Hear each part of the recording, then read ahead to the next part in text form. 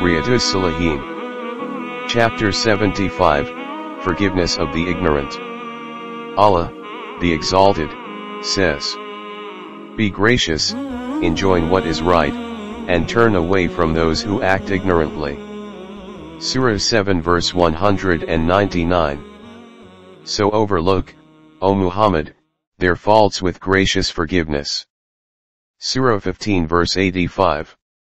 Let them pardon and forgive. Do you not love that Allah should forgive you?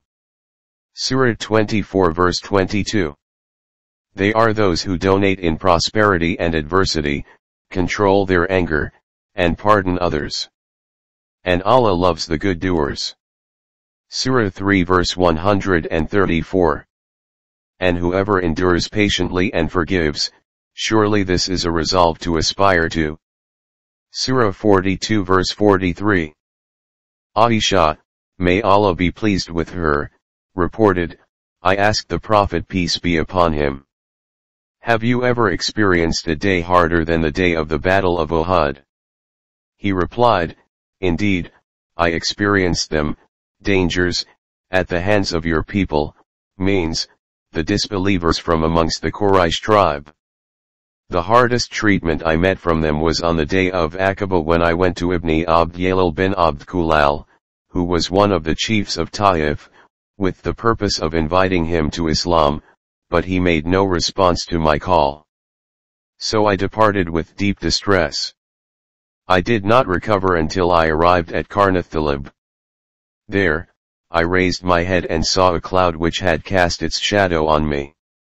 I saw in it Jibril, Gabriel, peace be upon him who called me and said, Indeed, Allah, the Exalted, heard what your people said to you and the response they made to you.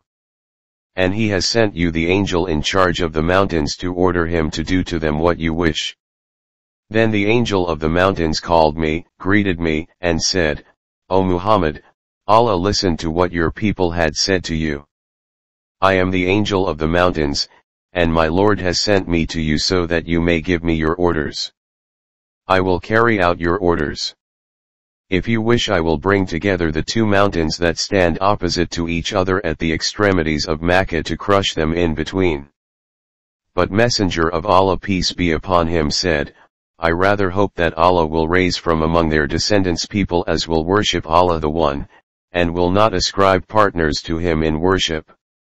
Reported in Sahih al-Bukhari and Muslim. Commentary, in the vicinity of Al-Madinah stands a mountain, called Uhud, where the Battle of Uhud took place.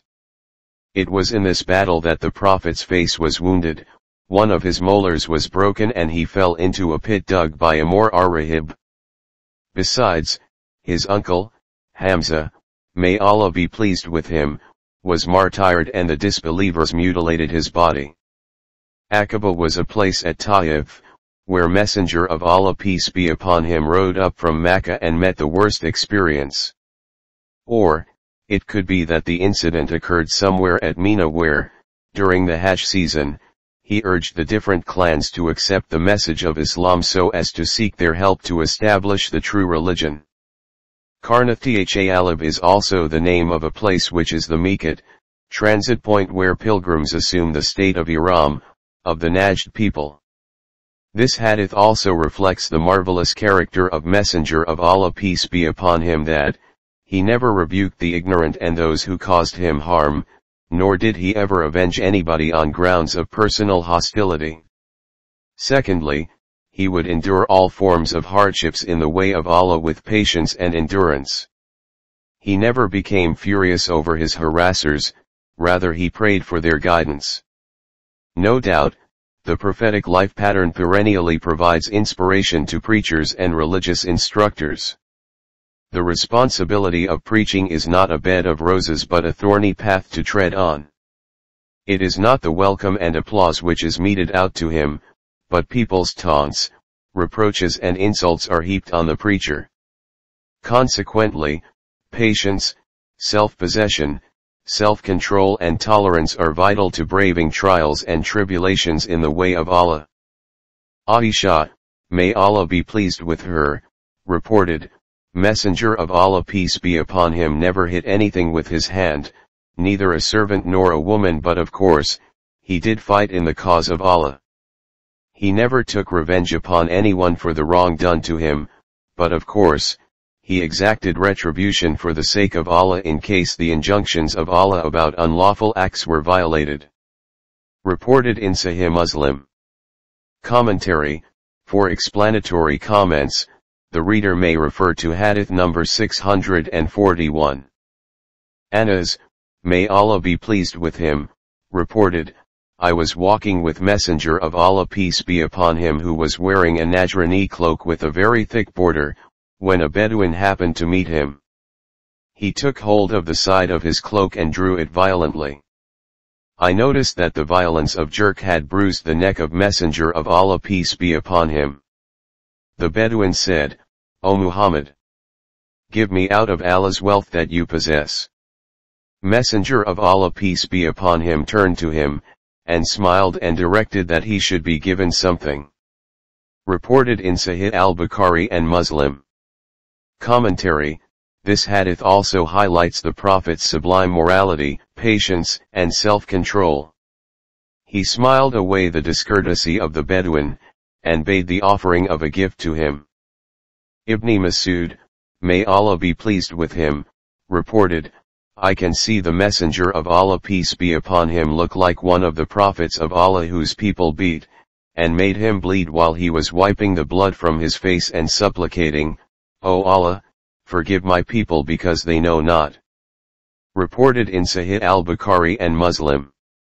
Commentary, the ulama say that by relating the painful incident of a prophet, messenger of Allah peace be upon him in fact implied his own experience at the hands of his people. Indeed, this expresses his extreme numbness that, he vaguely described his bitter self-experience without bringing into light the unthinking persecutors of his nation. Abu Huraira, may Allah be pleased with him, reported, Messenger of Allah peace be upon him said, the strong man is not the one who wrestles, but the strong man is in fact the one who controls himself in a fit of rage. Reported in Sahih al-Bukhari and Muslim. Commentary, people are usually impressed by the physical power and strength of somebody. But the real strength of a man lies in the fact that, he should be able to wrestle with his passions in a fit of anger, and avoid committing an act for which he may subsequently regret. This is a common observation that wild anger leads to many a wrongdoing of which man repents later on, or sheds tears over the ruin resulting from it. عليك يا حبيب سلام عليك صلوات الله عليك.